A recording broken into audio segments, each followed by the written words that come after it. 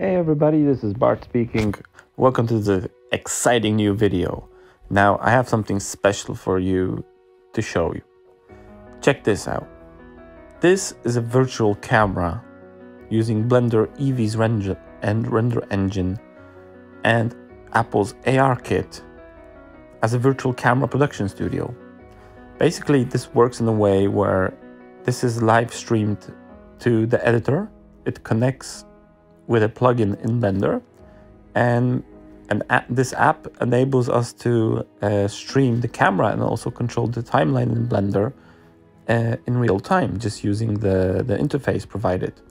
Now, I started adding little animations here uh, while I was holding the phone and moving it around the scene.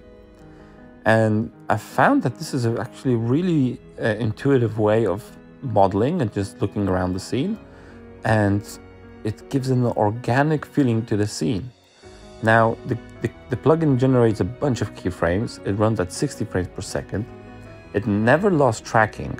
And this is mainly to the fact that um, my phone is the has the LiDAR scanner. It's the iPhone, uh, the newest version. So it it really ke keeps, um, there's no glitching out of your scene like you would no normally find uh, in projects before, uh, before LiDAR, right? Before LiDAR was integrated into the phones.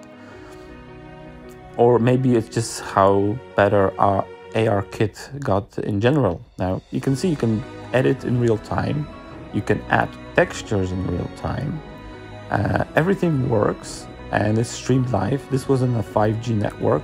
I had practically zero latency between my phone and the camera. And as a bonus point, it also works in cycles.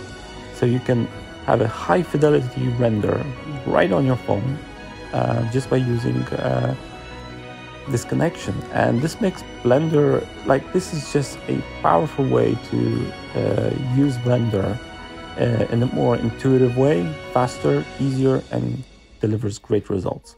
So check the link in the description. I'll see you soon.